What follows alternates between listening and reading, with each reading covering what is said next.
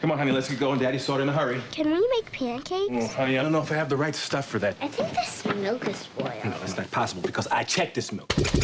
For Evan Danielson, life was all work You said you'd do dress up. Daddy has a lot of work to do. and no play. Hey, remember we talked about the day was going to come. You couldn't take the blanket to school with you anymore? Well, that day's going to be today.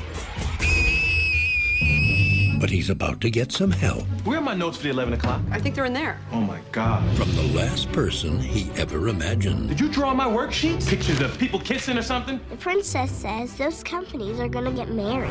How did you know about this impending marriage? I just. I, Where are you getting this information? Okay, let me get this right. The princesses tell you things about companies? Mm-hmm. Well, you know what? I got a couple of other companies I want to ask them about. From Paramount Pictures, There they are. We'll have to sing a song she likes. Please let me pass. Higher. And have an aneurysm?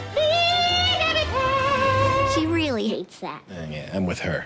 At Nickelodeon movies. The entire community is talking about you. I want you to find out where he's getting his information. He just hangs out with his daughter. We have to dance. Have to dance too? They dance and they laugh. Hey, Evan. Hey, what's going on, man? How you doing? You're playing with a blanket. Tell Olivia Danielson that Dad's out here and needs the blanket. I'm gonna give you twenty dollars. I'll take 50, my brother. I have a coffee card. I don't drink coffee. Do you like scones? Scones? What I look like, the Queen of England? Get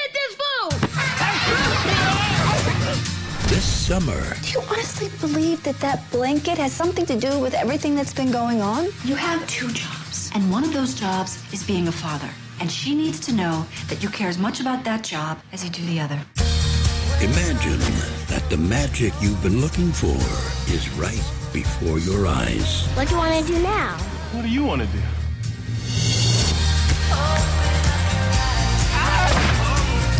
Oh, come on! Yeah, I'm getting the hang of it.